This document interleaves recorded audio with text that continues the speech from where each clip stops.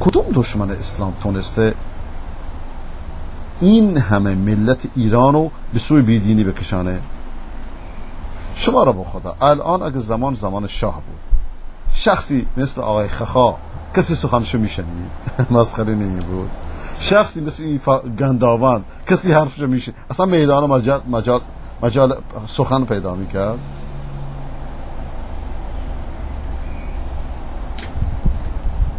اینا, اینا نتیجه چیه فکر نکردی نتیجه چیه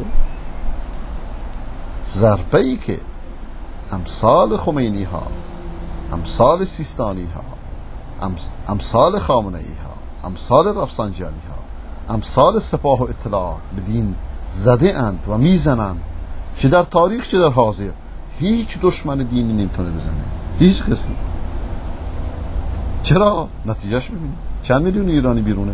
خب ایران که کشور قصد شده ای نیست که الان فلسطین قصد شده خب فلسطین در یک قوم دیگه اومده ملتی رو از جای خودش بیرون کرده. ایران چرا؟ ایران که اینطوری نیست. آه این اینا عربان مسخره. این سوال بسیار مسخره و جوابش بسیار مسخره. اینا عربان مسئله حل شد. خب اینا عربان اینا با عراق چیکار می‌کنن؟ اینا عربان؟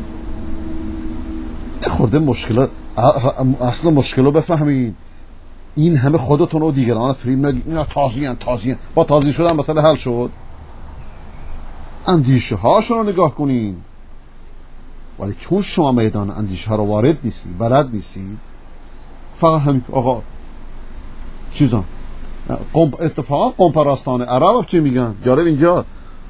همه اینا که در بر ایران بر عراق حکومت می‌کنن میگن اینا عجمه چون اصل اندیشه این اندیشه های مذهبی رو عموما مذهبیونه که در تا عمق میدوننشون.